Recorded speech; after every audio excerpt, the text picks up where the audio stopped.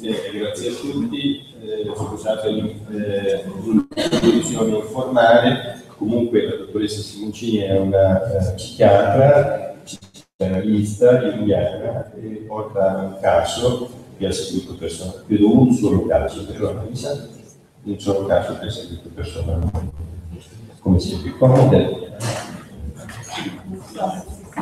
Io preferirei il microfono. Va bene, allora io comincio ringraziando Chris e gli organizzatori del festival e il dottor Mario per questo invito a questo seminario e devo partire da una breve riflessione prima di entrare nel caso clinico. A proposito del titolo eh, che il dottor Mario credo ha scelto, eh, Mitos e Logos, un'esperienza di lutto, perché in effetti eh, per parlare di morte, per parlare del morire, forse il linguaggio mitico è molto più adeguato rispetto a quello razionale, chiamiamolo così, no? quello dell'io cosciente della ragione, perché è un linguaggio per il linguaggio più rispettoso e meno violento rispetto a quello dell'uomo.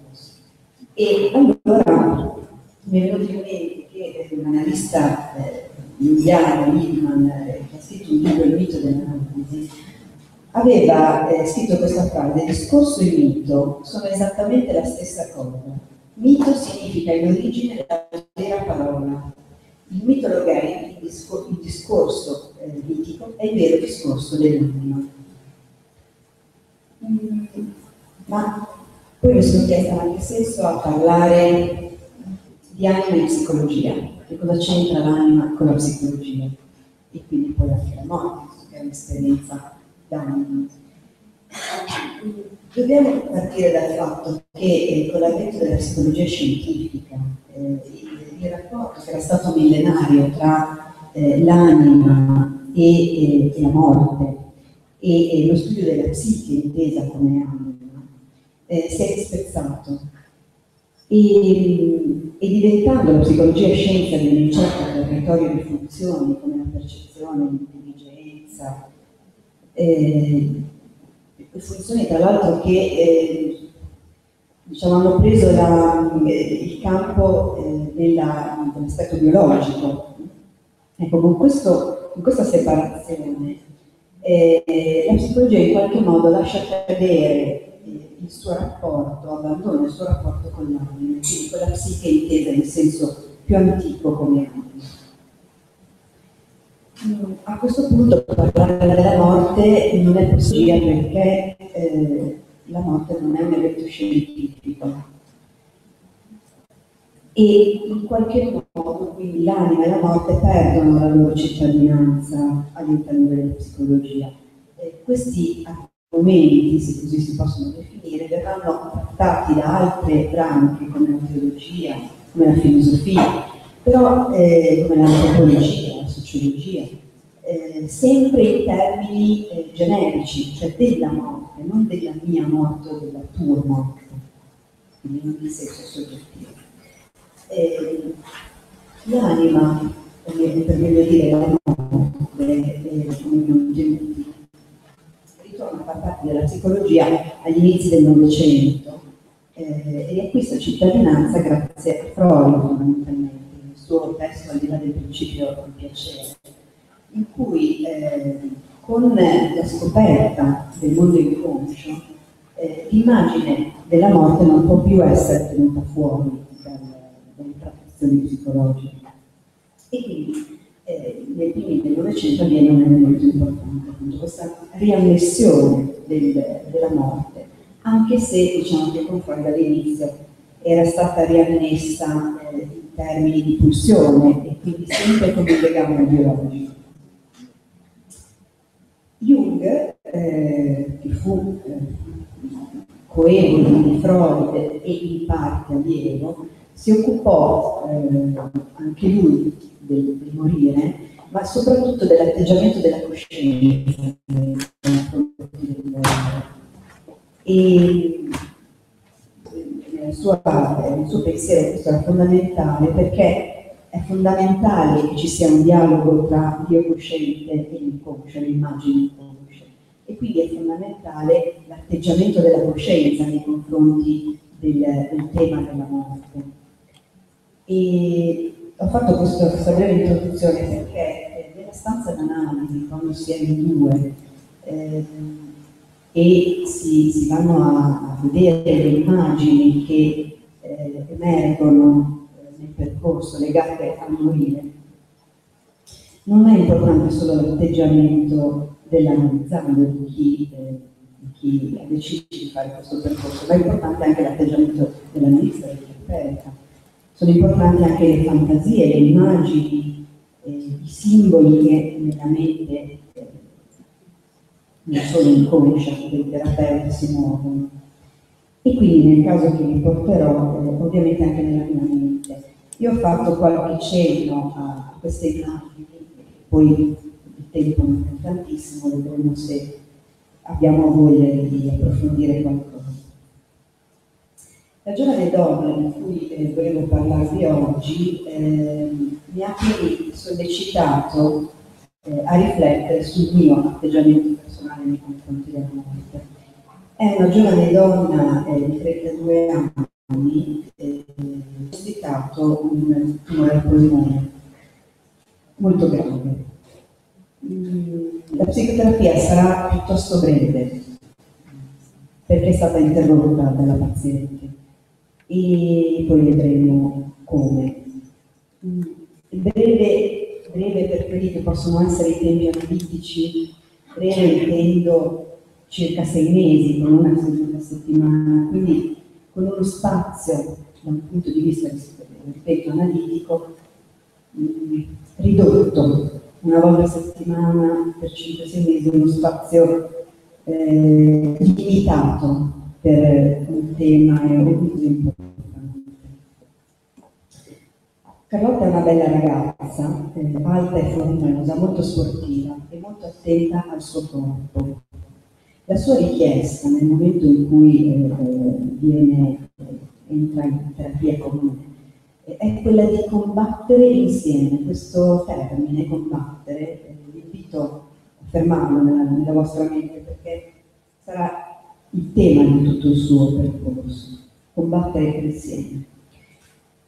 Eh, Carlotta riferisce da subito un rapporto fusionale con la madre, mm, condivide con la madre un'attività lavorativa, eh, addirittura eh, Carlotta ha rilevato questa attività, l'ha ampliata appena un anno prima eh, della, della diagnosi. E quindi possiamo dire che la malattia è stata comunicata in un momento eh, di espansione perlomeno professionale della, della ragazza. E il legame con la madre è molto forte, il padre invece viene descritto eh, come un uomo da sempre infantile e irresponsabile, che ogni tanto quando si sentiva stretto o c'era qualche difficoltà spariva e poi tornava come se nulla fosse accaduto. Un uomo che tradiva la moglie, da cui era incontabilmente ogni volta riaccolto, un uomo con un culto del corpo da bodybuilder che Carlotta ha in parte ereditato.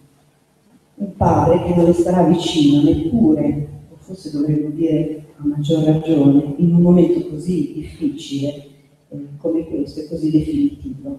Un padre che Carlotta eh, ama e odia, che cercherà in questi mesi continuamente di ricontattare e, e poi continuamente respingere in una sorta di ambivalenza affettiva. Carlotta è una ragazza molto combattiva, ha molti progetti per il futuro, alcuni forse non proprio realistici in questo momento, come vendere tutto dopo appena un anno che aveva eh, in realtà ricostruito cose, e vendere tutto e andare all'estero. Si presenta sempre ottimista, vita, e, e questo al termine di ogni nostro incontro mi lascia sempre la sensazione amara che si rifiuti di mettere in conto quello che sta accadendo, quello che potrebbe, con una grande eh, percentuale, possibilità che potrebbe accadere. Si muove sempre sul registro di quello che i psichiatri direbbero ipomaniacalità, quindi sempre molto sugli giri e, e si muove sempre su, su poli eh, positivi, alti, eh, del va tutto bene a tutti i costi, ehm, è, è, tutto, è tutto positivo, tutto questo sempre a oltranza. E la sua mente è ovvio, sta mettendo in atto dei meccanismi difensivi eh, rispetto a questa esperienza, che sono però compatibili con lo shock che la diagnosi ha avuto su di lei. Mm, io penso che mentre nel lutto per una persona cara vi è la perdita di, di una coppia, di un, di un, tutto che era una coppia, in cui c'era anche un altro, eh, nel lutto per la perdita della propria vita eh, c'è la perdita di tutto, non di tutto, ma di tutto. E quindi quello che si trova a dover affrontare Carlotta è un po', eh, potremmo dire, eh, il dissolvimento, il non riuscire eh, da parte di Dio a immaginarsi se stesso oltre la morte. Tra le difese che Carlotta mette in atto, eh, ovviamente è possibile riconoscere facilmente la rimozione, la scissione. Carlotta porta molti porta molti esami, ne legge, ne parla, fa visite su visite, eh, ma me ne parla eh, con un atteggiamento molto razionale e sembra che non voglia lasciare spazio, far emergere la disperazione, al dolore che sicuramente dietro a questa, a questa situazione si sta muovendo in me. Solo la rabbia eh, comincia a farsi spazio. È una rabbia dapprima rivolta verso l'ambiente esterno e, ed è una rabbia che ricade sul suo mondo eh, di amicizie di relazioni. Lei si arrabbia molto con le amiche perché non la vanno a trovare, perché non la contattano, e, perché non la cercano. Ma quando poi si incontra con le amiche, lei è aggressiva ed è molto svalutante. Dice che gli altri non sono veri, che non sono autentici, che fingono tutti e non le vogliono veramente bene. Lei ha capito che è sola e che nessuno le ha mai voluto veramente bene tranne sua madre. Questo, in questa dinamica con le amiche eh, arrivano ogni dei messaggini, qualcuna prova ad avvicinarla, eh, ma lei ogni volta è in grado di trovare una critica, un aspetto che non va in questi tentativi di vicinanza. Eh, lei dice, gli altri mi stanno abbandonando, nessuno è vero e autentico con me, tutti fingono. Vorrà dire che così seleziona le amicizie, poi si mette a piangere e dice di non avere più amici veri. È pur vero che eh, spesso di fronte a una malattia terminale c'è una paralisi, una sorta di paralisi affettiva e comunicativa. C'è una forzata ricerca di argomenti neutri, senza particolare significato e valore. Tutti recitano una sorta di commedia, sapendo di recitarla e motivandola con il desiderio di non ferire la persona. Mi raffiguro quindi nel mio ascolto di Carlotta che di fronte a Carlotta che non riesce a dare un'immagine di sé sofferente, ma al contrario un'immagine euforica, gli altri possono rimanere ancora più paralizzati e quindi bloccati in questa recita in cui ognuno fa il gioco delle parti. Questa situazione viene vissuta da Carlotta come un abbandono da parte degli non accorgendosi che la prima a non riuscire ad essere autentica è proprio lei, e in fondo, semmai, è lei che la perdonerà.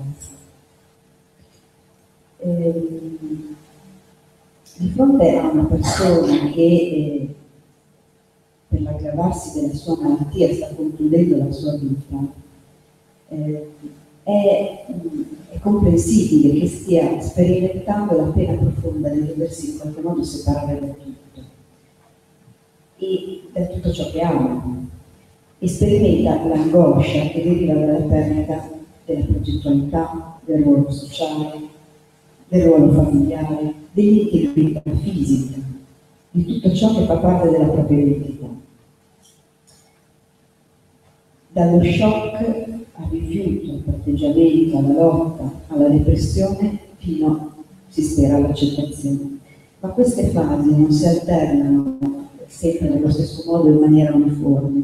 Ogni soggetto, ogni storia è a sé ed è sempre non prevedibile. Mm, è vero che anche per la fase terminale sono stati iniziati eh, vari passaggi conseguenziali di lutto.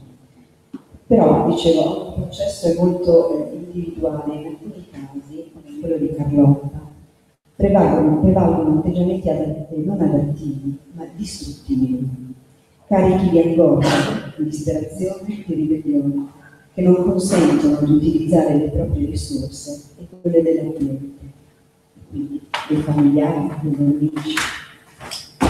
Carlotta mi comunica che non vuole fare le terapie proposte, che pensa che servano solo per la sperimentazione da parte dei medici in accordo con le case farmaceutiche e si attiva alla ricerca ossessiva di cure legate all'alimentazione naturale. Mi ritrovo a pensare quanto sia distante la possibilità di curarsi con una buona alimentazione rispetto al dramma che sta vivendo. C'è una specie di scollamento no? rispetto a queste due percezioni. Tuttavia, nel mondo interno delle immagini dei simboli, nel mondo interno del mitos di cui parlavamo prima, il tentativo di cura attraverso l'alimentazione potrebbe essere visto come immagine o simbolo di un ritorno alla terra, a quel nutrimento buono che cura, a quel nutrimento buono attraverso il quale la madre si era presa cura della figlia. Una madre onnipotente, ovviamente, come lo è sempre per i nati o per i bambini, ma una madre che salva, un nutrimento salvifico diventa il cibo naturale, perché appartiene a madre natura e quindi eh, a una madre, in questo caso per Carlotta, che salva. Quindi in qualche modo si sta muovendo dentro Carlotta la ricerca di eh, una cura che è anche un ritorno, un ritorno al materno, un ritorno alla nascita. Cerco di far avvicinare Carlotta a queste immagini, grazie anche al suo inconscio che ha prodotto solo pochi suoni, pochissimi suoni in questi 5-6 mesi. Questo ci dice qualcosa sul fatto che per Carlotta fosse molto difficile accedere a questa dimensione. Dicevo pochissimi suoni, ma quasi tutti legati al cibo, alla tavola e al nutrimento. Nutrimento anche inteso in senso affettivo. Frammenti di suoni. Mi trovavo in un luogo sconosciuto, Sembrava un albergo, una grande corte. C'erano grandi finestre. Si organizzava una festa, una cena, ma era sera. Era tutto bianco, tanti veli bianchi, ma io ero sola. Ero in viaggio, questo è un momento. Doveva esserci anche il mio ex ragazzo, ma non c'era. Ero delusa. Mi sentivo sola, poi mi ritrovo in una scuola per preparare il pranzo per tutti, ma lui non è arrivato. L'ultimo frammento. È arrivata la nonna, la nonna era deceduta un anno prima. È arrivata la nonna, con lei c'era sempre un senso di famiglia. La cena era pronta. C'era anche il zio che era il capofamiglia. La, la, sua resistenza anche nei confronti di una possibile elaborazione di queste immagini, che erano sue immagini, immagini che nascevano da lei. Ecco, la sua resistenza e opposizione ad ogni mio tentativo di accompagnarla verso una maggiore consapevolezza mi ricordano che lei mi ha chiesto, la sua richiesta di terapia è stata quella di combattere con lei. Ora, la parola combattere come etimologia significa dal latino combattere, significa combattere insieme. Quindi la richiesta che lei mi aveva fatto era quella di combattere la malattia insieme. Contrastare quindi, opporsi, portare avanti un percorso contro la malattia. Il tempo della resa mi sembrava ancora improponibile La sua mente sta combattendo, ma non solo contro la malattia, quanto contro una maggiore presa di coscienza e a favore invece di quel meccanismo psichico, di quei meccanismi di difesa che la mantengono in una situazione di stato. Ho accettato di fare un ciclo di chemio, ma poi basta. Quando vado in oncologia e vedo e sento tutta quella gente che si confronta sulle terapie, gli stadi della propria malattia, gli effetti collaterali, mi sembra di essere al mercato. Non voglio diventare come loro, mi viene una gran rabbia e non ci voglio stare. Arrivo tutta toccata e ben vestita e faccio la mia chemio come se andasse ad un appuntamento di lavoro, lontano dagli altri, a parlare. Do tempo a questa malattia fino a giugno, dottoressa. Dopodiché basta. Dopo deve finire. Carlotta prova a recuperare un po' di controllo sulla sua vita. Contratta sui cicli della chemio e sfida la malattia, dandole dei limiti di tempo, così come sfida il suo corpo, costringendolo ad un'attività fisica che vuole riprendere a tutti i costi. Ci sono giorni buoni in cui prova a correre e viene seduta chiedendomi conferme sul suo corpo ancora in forma, ancora bello.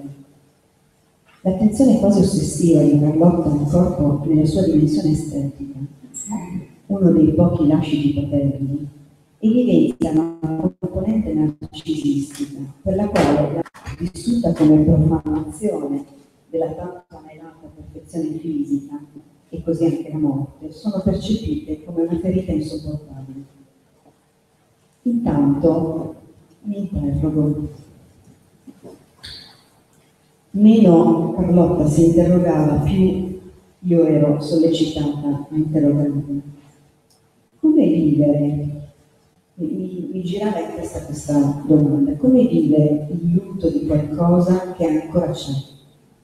Distaccarsi da una vita che non è ancora finita, da un corpo che ancora la testimonia. Per Carlotta ci sono ancora giorni buoni in cui cresce la speranza e l'illusione.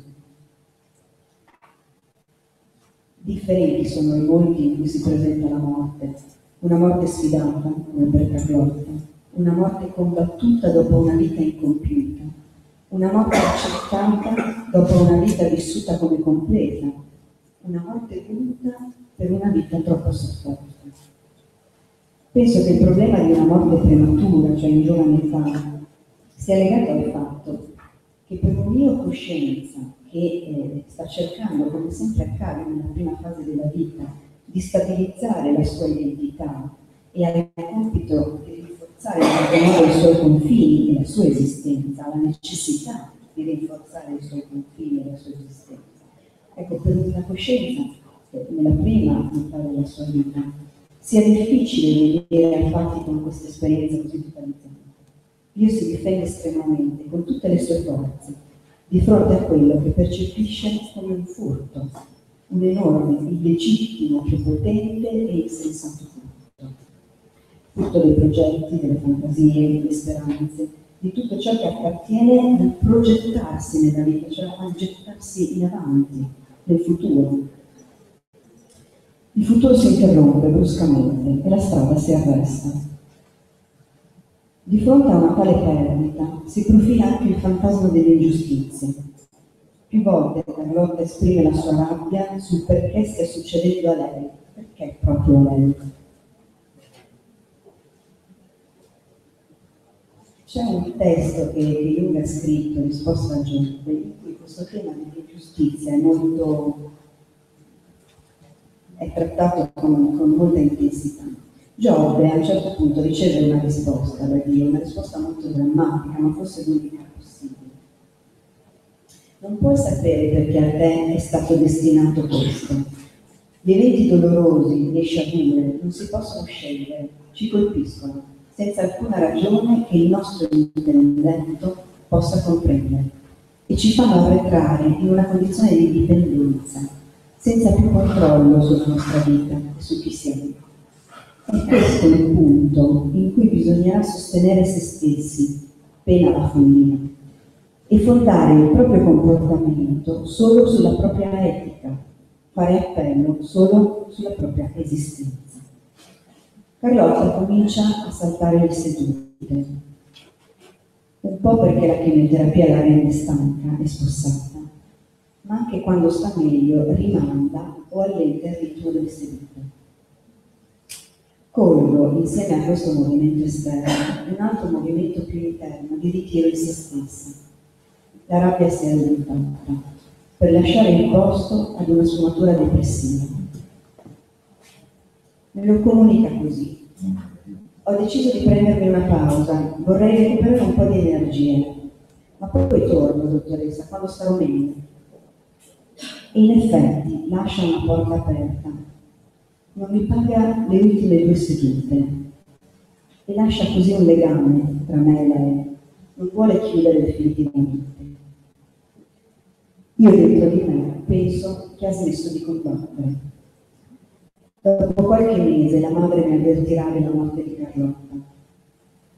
Mi sono chiesta se l'interruzione della terapia fosse stato un fallimento terapeutico, ma credo che questa valutazione implichi un giudizio basato su dei criteri generali non validi per tutti. Si fallisce rispetto delle aspettative, rispetto all'aspettativa che un individuo di fronte alla morte segua tutte le fasi canoniche fino attraversando anche la rabbia, ma fino ad arrivare all'accettazione.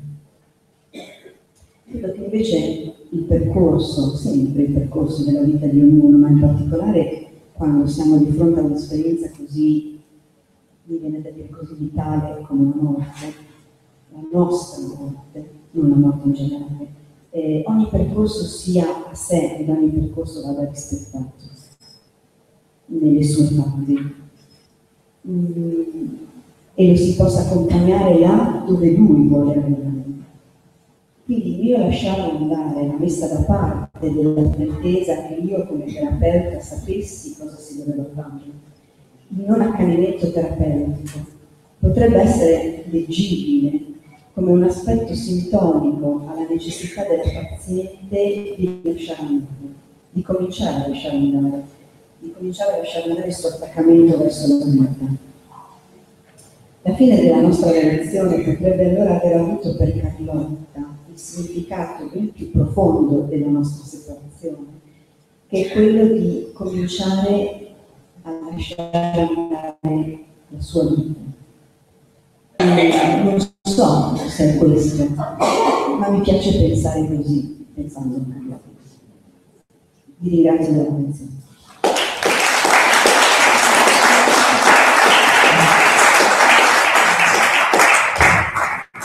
Dottoressa Simoncini molto elegante, eccetera, ma riesce a dare una dimensione veramente profonda eh, eh, il suo linguaggio eh, analitico forte è riuscito a dare a tutti noi un'emozione veramente profonda, eh, assolutamente autentica.